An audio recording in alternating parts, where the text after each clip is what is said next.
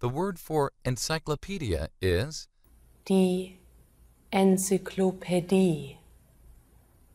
Die Enzyklopädie. Now you try it.